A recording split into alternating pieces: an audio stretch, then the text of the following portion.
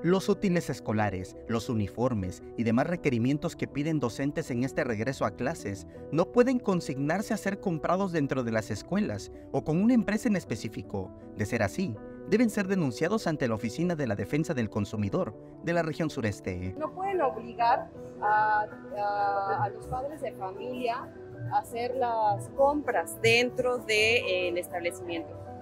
Lo que sí es, se manda la propuesta del material o los libros que se tienen que cursar durante ese ciclo escolar, más no obligarlos a comprar en determinado lugar o con cierto proveedor. Además, tampoco pueden obligar a que el alumnado vista con uniformes nuevos, así lo explicó. Lo que tienen que hacer los colegios o las escuelas particulares es presentar, obviamente, antes de iniciar los cursos, el- los montos totales a pagar, los nuevos costos eh, de las colegiaturas, qué es lo que va a cubrir esos costos y sobre todo tampoco pueden obligar a los padres a que compren nuevos uniformes. Si están en buen estado pueden volver a utilizarlo.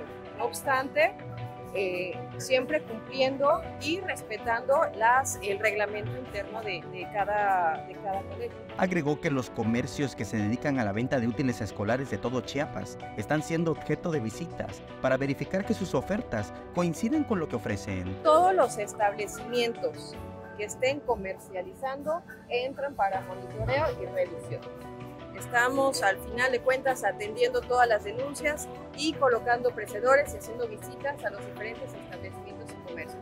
Si a un establecimiento está comercializando es porque también ya pasó por otras autoridades para la previa revisión y la autorización para el la comercialización. Puntualizó que la Oficina de la Defensa del Consumidor se encarga de proteger y defender los derechos de los consumidores, en tanto que la ciudadanía debe ser responsable de saber dónde comprar. como padres, como consumidores, tenemos la responsabilidad de saber eh, en dónde comprar, cuánto comprar y con quién.